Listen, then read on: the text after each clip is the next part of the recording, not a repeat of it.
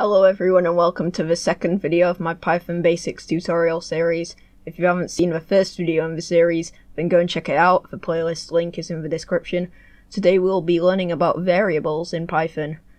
Now what is a variable? Well you can think of variables as a container that holds different data values, whether it might be a string which is text, integers which is a whole number, or floats which are numbers with a decimal. Uh, what's the point of them? Well, they can be used multiple times throughout a program instead of typing out the same value a ton of times in different parts of a program. Okay, so let's get on to programming. What we want to do is open up idle. I have my idle a bit bigger just so you can guys can see it easier. You want to go to file, new file. I could just hit control N. Uh, and there we go. So what do we want to do now? We can do x equals nice variable. Now this is a variable. And then what we can do is y equals, I don't know, let's just say random number 21. So these here are variables. And what we can do now is we can use what we learned in the last tutorial, printing. So we can type print and let's print x. Notice how we do not have speech marks around the x, as if, if we did have speech marks around the x, this is what would happen. If we save it, just save it somewhere. Um, if we did have um, speech marks around the x, if we go to run, run module, which runs the program, we just get the it just prints out the letter X, which we don't want, so what we can do is we can remove these speech marks and then we get nice variable.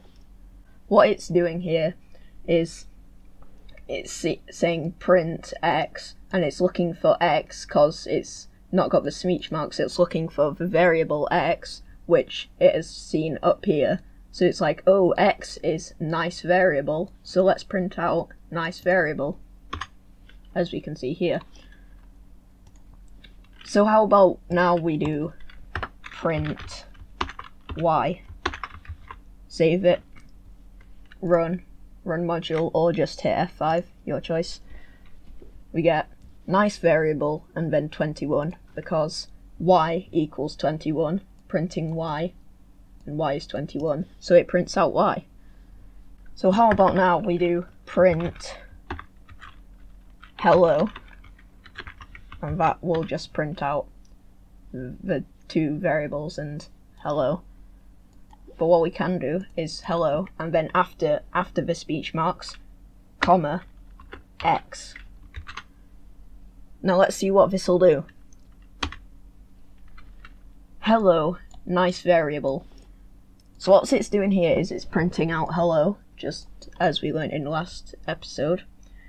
And then it's saying, let's also print out x, which is nice variable. Run it hello, nice variable. Because the comma, what it does is it sort of adds it together. What we can also do, instead of a comma, we can do print hey, we can do plus x, then close it off, run it. Hey, nice variable.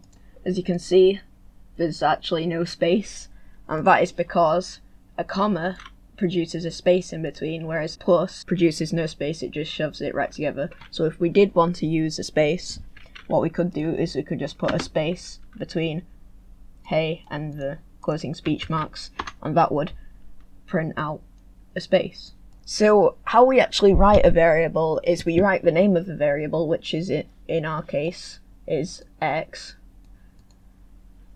Um, then we follow it up with an equals, which says like x equals the variable. It assigns the data to the variable, and then after the equals, we write what data we want, whether that's a integer or a string.